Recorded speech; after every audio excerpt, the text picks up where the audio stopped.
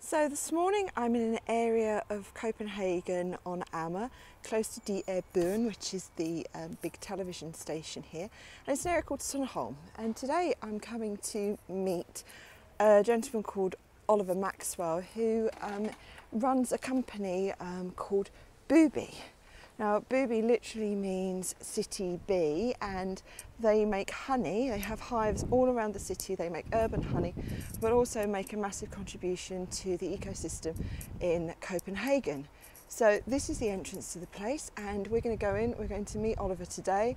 We're going to take a look around about what they're doing here in their central um, office, and I guess you might call it a factory.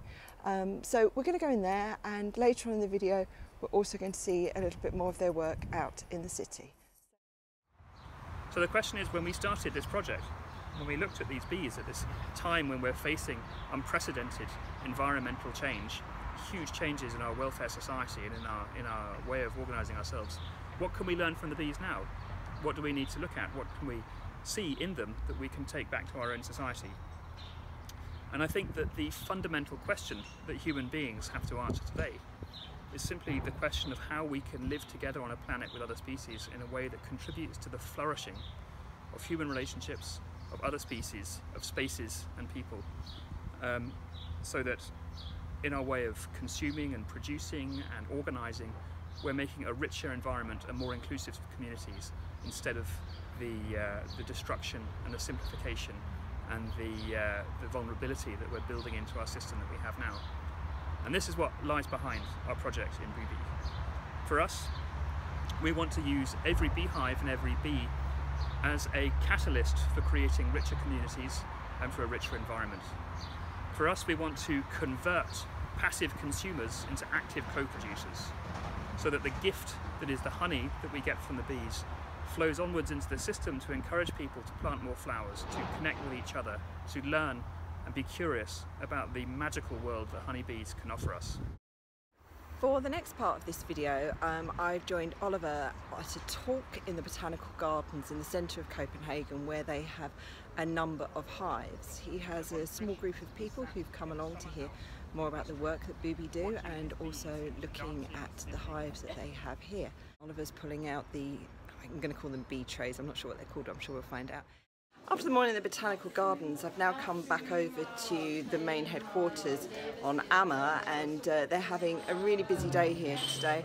They've got people um, harvesting the honey, which we're going to see a little bit of later on. But there's also a big team of people from L'Oreal here having a, a, day where they're doing some environmental things around the place. Um, L'Oreal is one of the companies that uh, hosts some of uh, Bybi's hives in, uh, near their headquarters, so they're here doing some activities as well. Love to try. Right. So here we have the frame, and right now we need to do is uh, to decap it, because uh, what we can see, what how we can tell the honey is finished is uh, when the bees put the wax on. So uh, we know now that the honey is matured and it's ready to to decap. Should I put gloves on? And uh, in order to do that, we use uh, this tool over here. You can see this one is has been removed. If you like, you can put the. And then you need to uh, put it over here. In here? Yes, but I think um, I can show you a new one. Or like take uh, the dark one? Yes. There are different ways of doing this, but if you need to not go so deep, because then a lot of the honey will be lost in the in the wax, and we need as much honey possible in the sling. So this is what it looks like with decapped honey comb. And now it's uh, when we have done this with all the uh, the frame, it's ready to, uh, move over here. And this is the waiting process to get in the sling. All right, so in here we have the sling, and uh, we put the frames down here, and uh, this uh, batch is all done right now. So oh, I think maybe this one you can try and uh, hold this. It doesn't weigh anything. Okay. Compared to the to the frames that they are standing over there decapping, it will weigh approximately around two to three kilos uh, per frame. So in here we have 30 frames and when uh, it's full, it will start turning uh, slowly and then faster and faster. And then when it's going really fast, you can see that it's raining with honey down uh, on the side, and then the honey will be collected in the bottom, and then we open uh, the holes here in the bottom, and then uh, it will come out, and then we'll filter through there, and another one over here, and finally down bucket down here where it's uh, the batch number then